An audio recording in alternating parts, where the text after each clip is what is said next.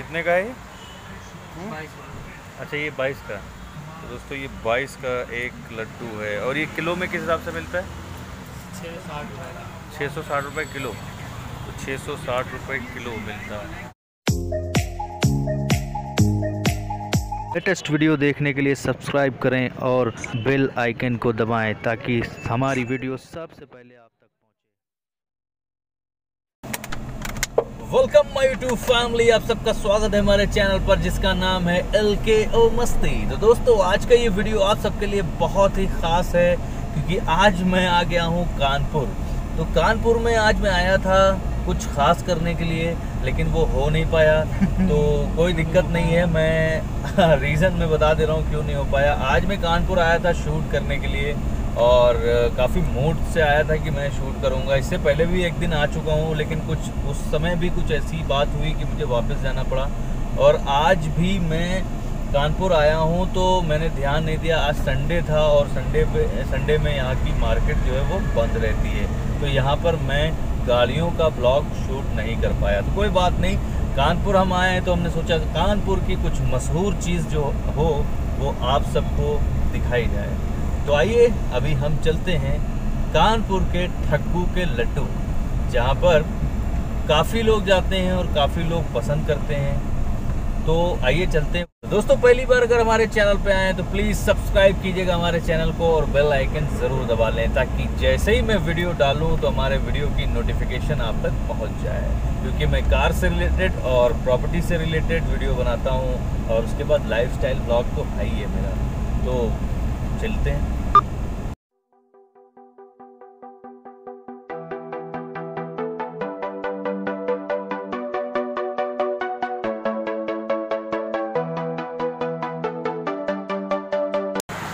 दोस्तों हम लोग आ चुके हैं ये देखिए ठग्गू के लड्डू यानी बदनाम लड्डू जो कि ऐश्वर्या राय की शादी में भी पहुँचे थे। तो ये देखिए ऊपर और आइए हम लोग भी खाते तो यहाँ पर ये देखिए कितने का है ये? अच्छा ये बाईस का। तो दोस्तों ये बाईस का एक लड्डू है। और ये किलो में किस हिसाब से मिलता है? छः सौ साठ रुपये किलो। तो छः सौ साठ रुपये किलो मिलता। है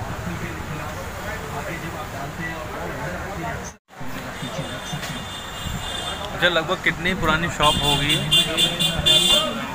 पचास साल पुरानी। पचास साल से मतलब यहाँ पे है। तो काफ़ी पुरानी शॉप है। अभी पंद्रह पंद्रह वाले भी लड्डू हम लोग ले चुके हैं। काफ़ी अच्छा टेस्ट है इनका। काफ़ी टेस्टी है।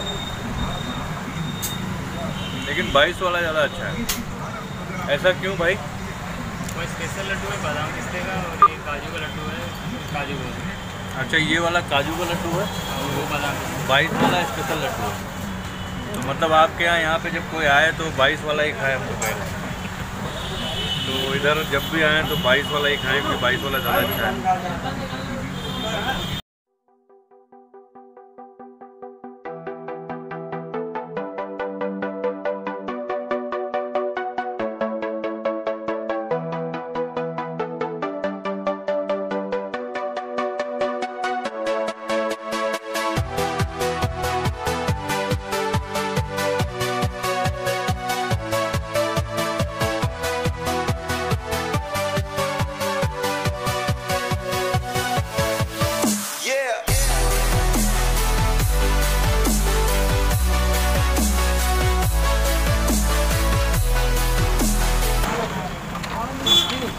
अच्छा ये कुल्फ़ी है बना रहे तो ये कुल्फ़ी बनाई जा रही है यहाँ पे देखिए।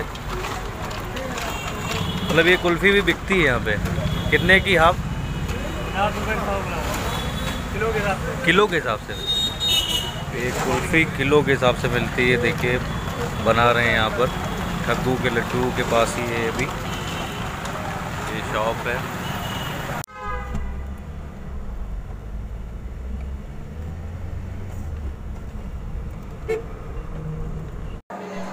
तो अभी हम लोग हैं नवाबगंज में और नवाबगंज में काफ़ी अच्छा होटल पड़ता है। बस वहीं पर हैं और सोचा रुक करके यहाँ पर कुछ खा लेते हैं उनकी बहुत ज़ोर से भूख लगी थी।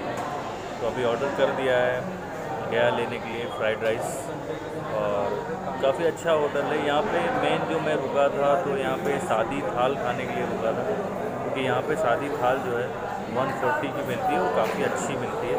आज यहाँ पर वो थाल नहीं मिल रही है, क्योंकि जो भी यहाँ पे बनाने वाले हैं खाना, वो छुट्टी पर गए दोस्तों, फ्राइड राइस आ चुकी है, ये देखिए। और अभी हम लोग फ्राइड राइस खाने जा रहे हैं। काफ़ी अच्छा टेस्ट है इसका। और 50 का हाफ़ है यहाँ पे।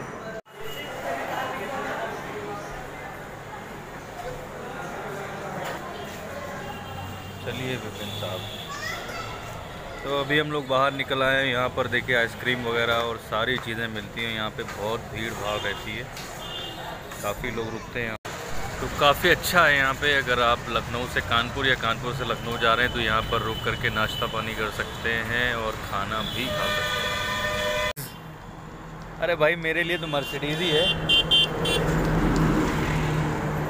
तो अभी वापस जा रहे हैं हम लोग लखनऊ के लिए और सुबह ही आ गए थे, यानी कि हम लोग यहाँ पर जो कानपुर में पहुँच गए थे करीब डेढ़ बजे।